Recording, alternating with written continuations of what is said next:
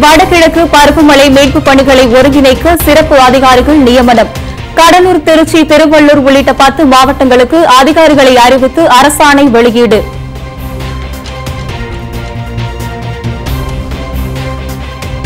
வங்கக்கடலில் நிலை கொண்டிருந்த ஆழ்ந்த காற்றழுத்த தாழ்வு பகுதி காற்றழுத்த மண்டலமாக வலுவடைந்தது. மாமல்லபுரம் அருகே கருகி கடக்கும் என வானிலை ஆய்வு மையம் கணிப்பு.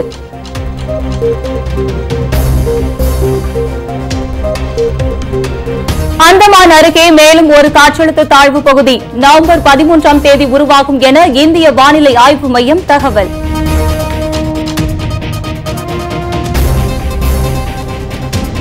சென்னை விமான நிலையத்தில் எட்டு விமானங்கள் ரத்து. மோசமான வானிலை காரணமாக விமானங்கள் ரத்து செய்யப்படுவதாக அறிவிப்பு.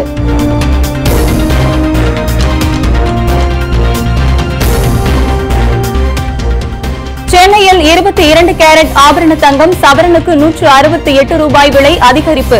ஒரு கிராம் நான்காயிரத்து ஐநூற்று ஐம்பத்து நான்கு ரூபாய்க்கும் சவரன் முப்பத்து ஆறாயிரத்து நானூற்று முப்பத்தி இரண்டு ரூபாய்க்கும் விற்பனை.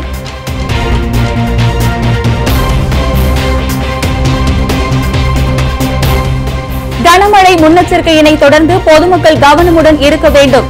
அமைச்சர் K K S S R Ramachandran அவர்கள் வேண்டுகோள்.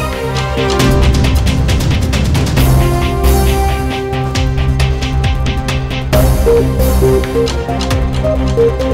you.